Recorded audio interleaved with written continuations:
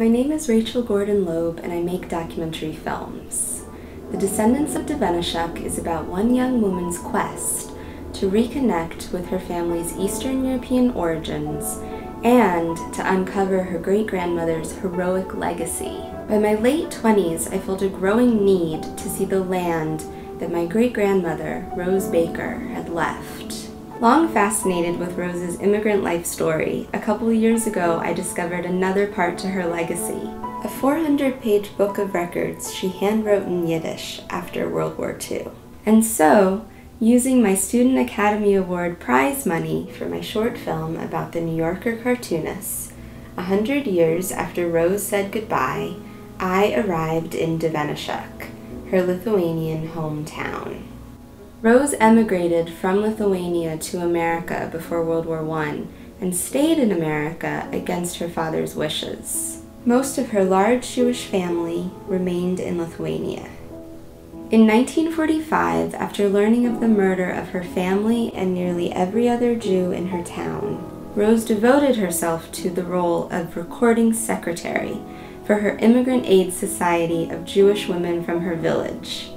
They were called the Devenishuker Ladies Auxiliary. For 17 years, Rose detailed her community's response to their loss. Although there were close to 3,000 organizations like Rose's active in New York after World War II, this is the first film to focus on one such immigrant group and their response to the Holocaust. There are no Jews in Devenishuk today, but I was eager to speak with the current residents to learn about their lives. Through these conversations, I discovered that some Lithuanians still struggle with the loss of the Jewish community. It's my hope that by sharing Rose's never before translated records, along with the stories of non Jewish Lithuanians whom I met, my film may address in some small way the loss inflicted by the Holocaust that continues to impact many of us.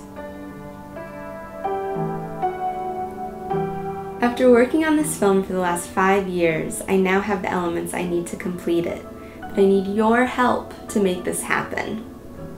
To complete the translation of Rose's written records and the editing of this film, please contribute now and join me in the making of The Descendants of Devenishuk.